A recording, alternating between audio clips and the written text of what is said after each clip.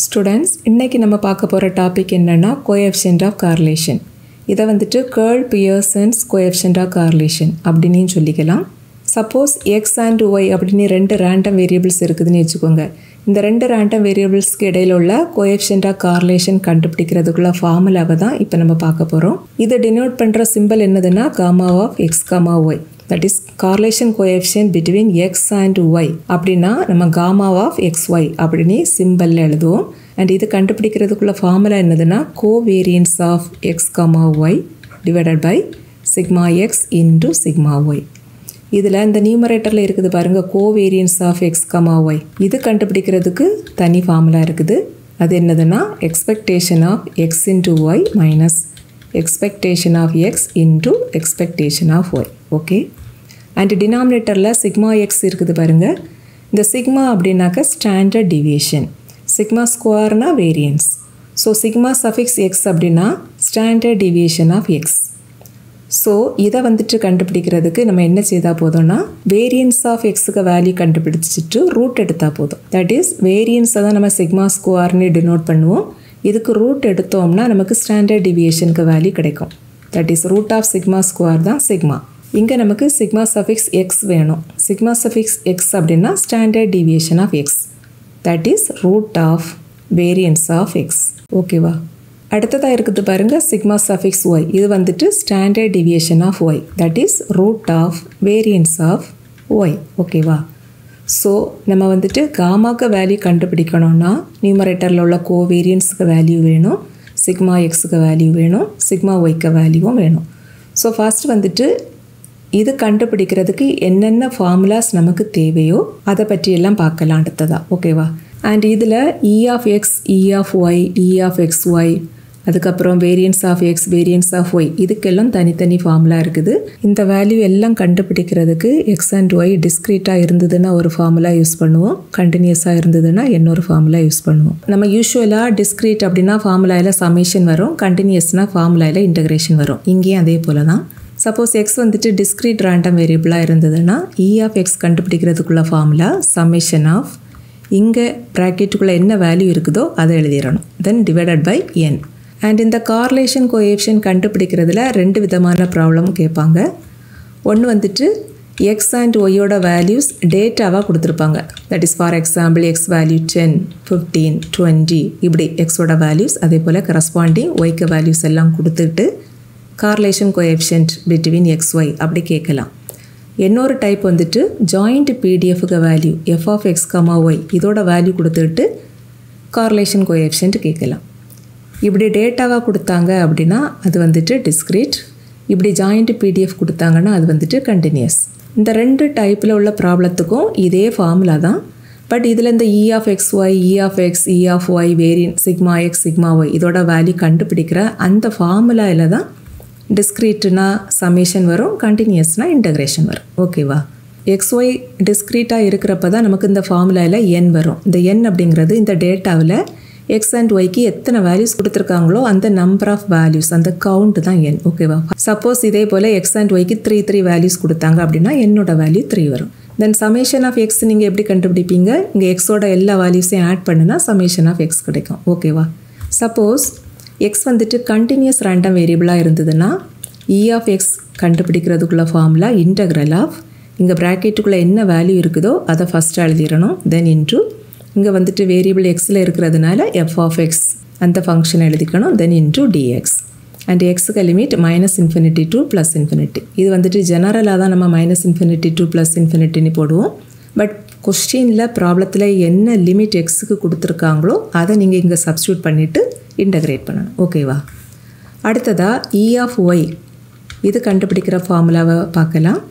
Suppose X வந்துட்டு டிஸ்க்ரீட்டாக இருந்ததுன்னா summation of இங்கே இருக்கக்கூடிய value Y divided by N வரும். ஓகேவா பட் கண்டினியூஸாக இருந்ததுன்னா இ ஆஃப் ஒய் கண்டுபிடிக்கிறதுக்குள்ள ஃபார்முலாவில் இன்டகிரலாக இங்கே இருக்கக்கூடிய அந்த ஃபங்க்ஷன் எழுதிக்கணும். தென் இங்கே வந்துட்டு வேரியபிள் ஒய்னால எஃப் ஆஃப் ஒய் போடணும் தென் டிஒய் ஓகேவா limit minus infinity to plus infinity நெக்ஸ்ட்டாக வந்துட்டு இந்த கோவேரியன்ஸில் இருக்கக்கூடிய இ ஆஃப் எக்ஸ் ஒய் இதோட ஃபார்முலா எழுதலாமா?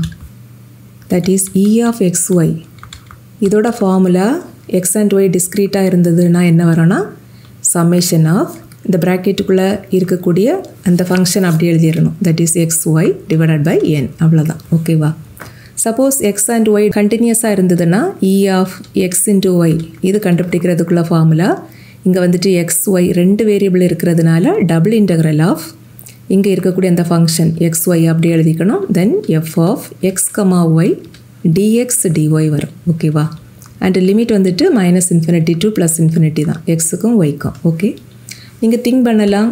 கண்டினியூஸ்னு வர நேரம் டபுள் இன்டகிரேஷன் போட்டிருக்கிறோம். டிஸ்க்ரீட்டில் ஏன் ஒரே ஒரு டைம் சமேஷன்னு திங்க் பண்ணலாம். இங்கே வந்துட்டு டபுள் சமேஷன் வராது. பிகாஸ் நம்ம ஒரு டைம் தான் ஆட் பண்ணுவோம். ஃபஸ்ட் நம்ம வந்துட்டு எக்ஸ் இன்டூ ஒய்க்க வேல்யூவாக கண்டுபிடிப்போம். That is first value of எக்ஸையும் first value of ஒய்யையும் ப்ராடக்ட் பண்ணி வச்சுக்கணும். Then plus second value of x second value of y ரெண்டையும் ப்ராடக்ட் பண்ணி எழுதுவோம். ப்ளஸ் அடுத்தது third value of x into third value of y இப்படி ஒவ்வொரு கரஸ்பாண்டிங் எக்ஸ் ஒய் இருக்க வேல்யூவை மல்டிப்ளை பண்ணி மல்டிப்ளை பண்ணி ஆட் பண்ணுறப்ப நமக்கு வந்துட்டு சமேஷன் ஆஃப் எக்ஸ் ஒய்க்கு வேல்யூ கிடச்சிரும். ஸோ இங்கே நம்ம டபுள் சமேஷன் போட தேவையில்லை. புரியுதாம்மா? கோவேரியன்ஸ் எக்ஸ் ஒய் கண்டுபிடிக்கிறதுக்குள்ள ஃபார்முலாவில் என்னென்ன இருக்குதோ எல்லாத்துக்கும் ஃபார்முலாவும் நம்ம இங்கே எழுதியாச்சு. ஓகே அடுத்தது சிக்மா எக்ஸ் சிக்மா ஒய் கண்டுபிடிக்கிற இந்த ஃபார்முலாவில் வேரியன்ஸ் இருக்குது பார்த்தீங்களா இந்த வேரியன்ஸ் கண்டுபிடிக்கிறதுக்கு இ ஆஃப் எக்ஸ் ஸ்கொயர் அந்த வேல்யூவும் தேவைப்படும். ஸோ அதோட ஃபார்முலா அடுத்தது பார்க்கலாம். That is E of x square இதோட ஃபார்முலா டிஸ்க்ரீட்டில் என்ன வரும்னா சமேஷன் ஆஃப் இங்கே இருக்கக்கூடிய அந்த value divided by n okay and கண்டினியூஸில் E of x square இதோட ஃபார்முலா என்ன வரும்னா இன்டகிரல் ஆஃப் இங்கே வேரியபிள் எக்ஸ் மட்டும் தானே இருக்குது. அதனால் சிங்கிள் இன்டகிரல் போடணும்.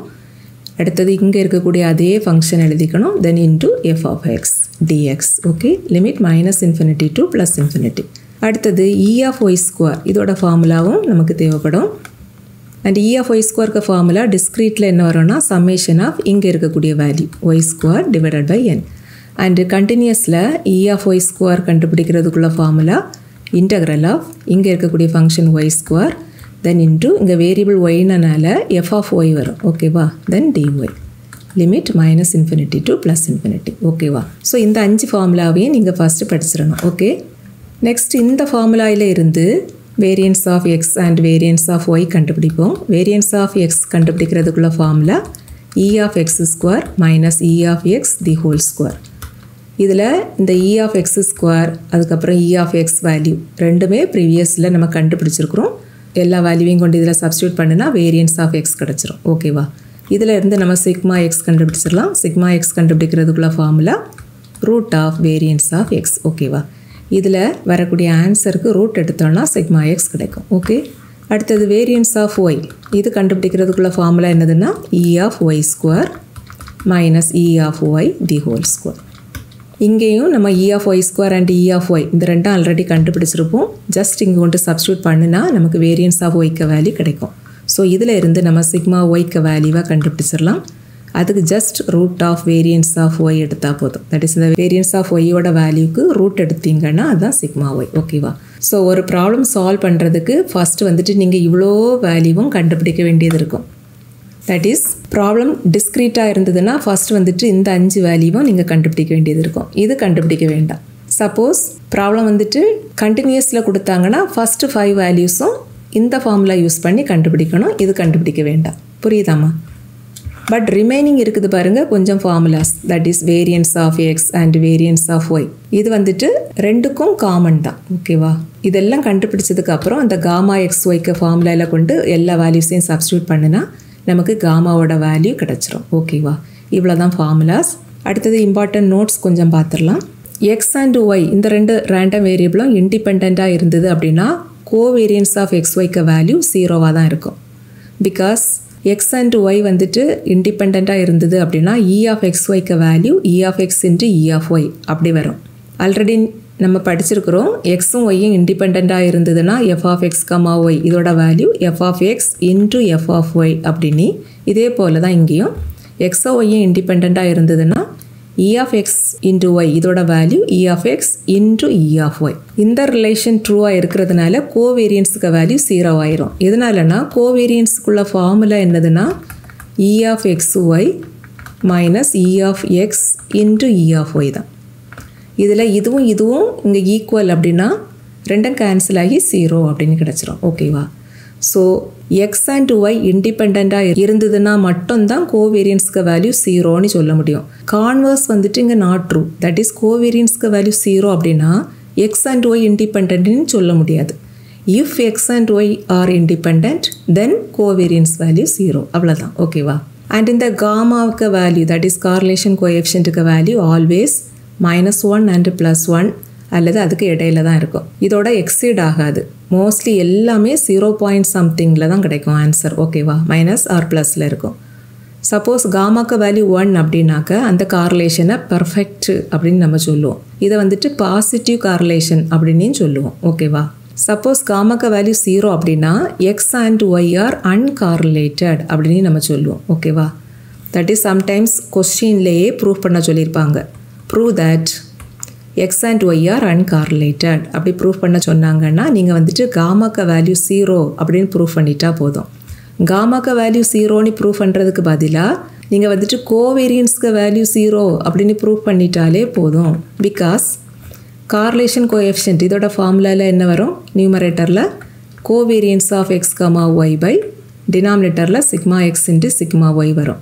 இந்த காமாவோட வேல்யூ ஜீரோ ஆகணும்னா கண்டிப்பாக இந்த நியூமரேட்டருக்கு வேல்யூ ஜீரோவாக தான் இருக்கணும். அப்படி தானே zero by anything is zero so gamma value ஜீரோன்னு ப்ரூஃப் பண்ணுறதுக்கு பதிலாக நீங்கள் கோவேரியன்ஸ் ஜீரோன்னு ப்ரூஃப் பண்ணிட்டாலும் போதும். ஓகேவா இவ்வளோ தான் இங்கே உள்ள important formulas and notes next வீடியோலேருந்து நம்ம ப்ராப்ளம்ஸ் பார்க்கலாம். ஓகேவா